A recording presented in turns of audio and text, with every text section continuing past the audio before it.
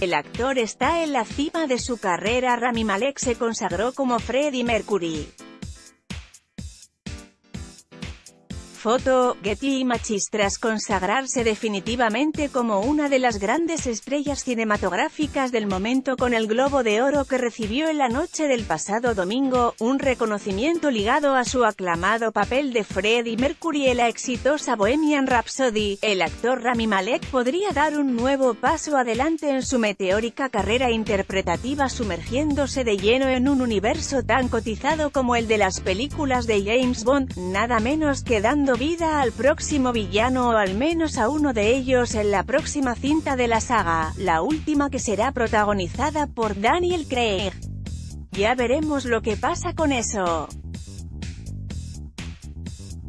Estaría genial poder dar vida a un antagonista, sin duda, creo que ese sería el sueño de cualquier actor y desde luego otro de los míos.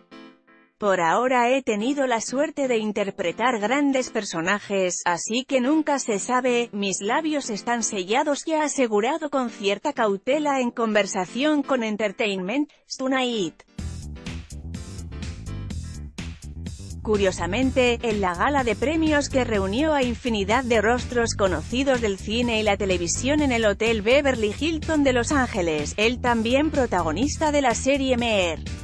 Robot coincidió con dos posibles candidatos a suceder al citado Craig Idris Elba y Richard Madden en cuanto se estrene la que será la cinta número 25 de las aventuras del agente secreto, un filme que debería haber llegado a las salas de cine este mismo año pero que, finalmente, ha sido pospuesto para el año 2020.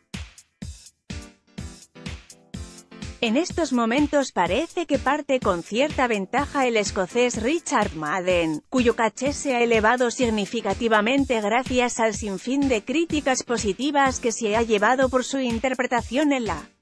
serie de la BBC, Bodyguard, al correspondiente Globo de Oro que le fue entregado en consecuencia el pasado domingo y también, a su pasado como el malogrado Rob Stark en Juego de Tronos.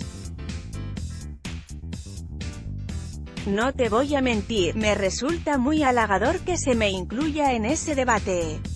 Punto. Pero por el momento tenemos muchas películas por delante que tenemos que rodar, así que ya veremos lo que ocurre en el futuro, reconocía el intérprete de 32 años sobre sus posibilidades de sustituir a Daniel Craig poco después de la ceremonia.